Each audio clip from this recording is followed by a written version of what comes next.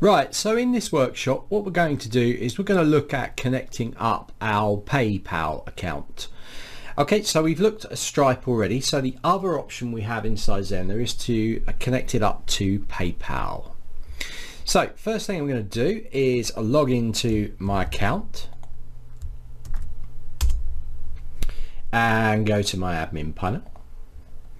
I'm going to go to site and down to integrations. So you can see our Stripe account is already set up. So I want to connect my PayPal account and start processing payments immediately with PayPal. Each payment on your site using PayPal goes directly to your PayPal account. Now, important thing to realize about PayPal is that you need a PayPal business account, okay? So you might already have PayPal already set up on your system and you need to make sure that that is a business account.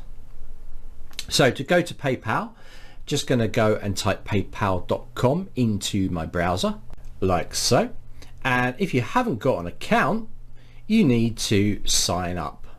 So you need to select business account and then click next and then you're going to say what is the mainly main type? You're going to select probably uh, on my website. And then my annual volume you can put that whatever you like. Let's go 5 to 25,000 and click next. Now it's going to ask you for an email address. So I'm going to put David at zenler.com. This is a brand new account for me on this. So I'm going to click next. It's going to ask me for a password here. So I'm going to put a password in here and click continue.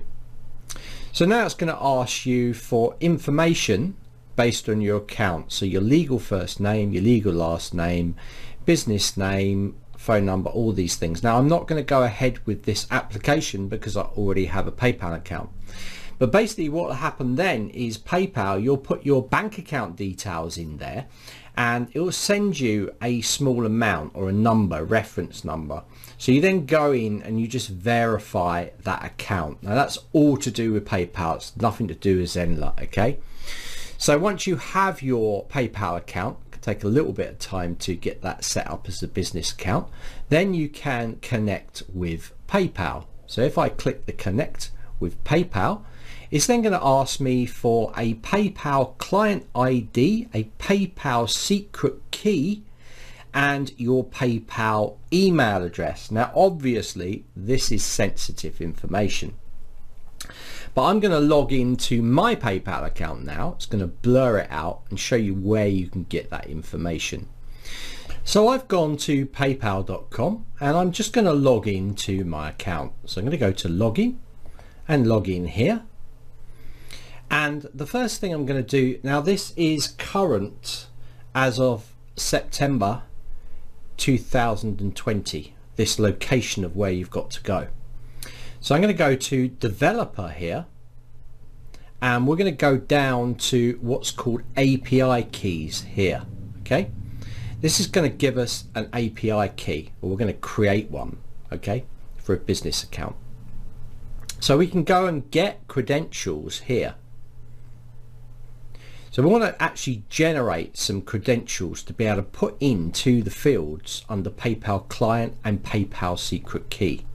Okay goes straight into my APIs. Let's log in there. And I'm going to, I've actually already got one here, but I'm going to go live and you can see I've got one. I'm going to create an app here. So I'm going to create, I'm to call this surf dudes. Okay. And I'm going to create that app there. Okay, so now this has given me the information. It's given me my client ID, which I'll copy. Yeah, this is a live API credential. Just follow what I'm doing carefully. I'm going to put that in there. It's blurred out because obviously it's secret. I'm going to go and click the show. Okay. and I can grab this key here copy paste it into here. Okay? Back to this. And I'm ready.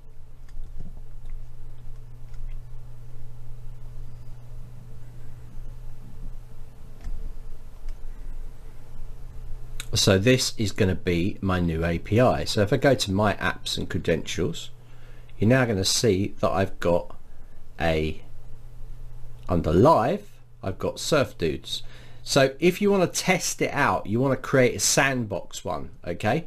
For testing because it won't take any money from you. But um, you need to recreate one live to make it live okay? Well you might be able to go into here and make it live I'm not sure. I've just done it live straight away. So now I've done that I'm going to come into here and we're going to click save. And we are now connected to my PayPal account. It's that simple. Okay so hopefully this has been used to you. Obviously I've had to blur out the uh, sensitive information but uh, I hope you understand that. Obviously it's a live account